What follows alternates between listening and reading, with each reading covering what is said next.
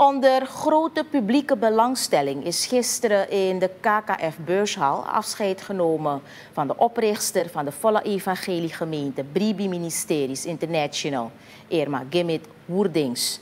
In de afscheidsdienst werd veelvoudig gesproken over haar loyaliteit naar God, de Schepper, haar hart voor aanbidding en gebed en haar liefde voor de bediening.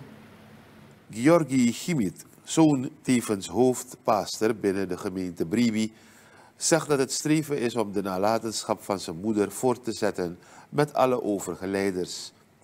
Het werk dat voor hen ligt valt niet te onderschatten en daarvoor is gebed van elk lid nodig.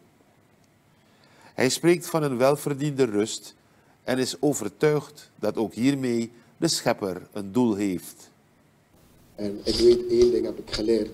And one thing I learned, Wanneer je koninkrijk Gods hebt ontmoet, when you have met or have been uh, have have contact uh, the kingdom of God, vergeet je alles en iedereen om je heen. you forget everything and anybody around you Maar de realiteit, because the reality, maar de realiteit but the reality leert ook dat wij also teaches us that we een moeder hebben verloren. we have lost a mother. Mijn vader heeft er altijd bij gestaan. My dad has always supported her. Alles wat ze heeft bereikt, Everything that she has accomplished, mijn vader was daar. my dad was with her. Tot op de laatste adem Even until her last breath, was mijn vader daar. Papa was there. Ze belde, She called.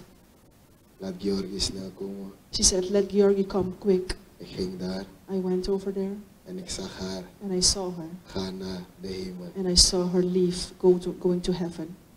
Ik wil je geruststellen. And I want to want you to be at ease. Hoe pijnlijk het ook is voor de familie. How painful it is for the family, even though how, painful it is, Ook hoe pijnlijk het is voor u. and even though how painful it is for you. God weet alles God knows everything, en hij heeft alles in zijn handen. and He has everything in His hand. Als bemoediging vroeg de zoon aan de gemeente om het goede werk van zijn moeder te continueren en in vrede met elkaar verder te leven. Irma Gibiet Woerdings overleed op 3 juni op de leeftijd van 77 jaar.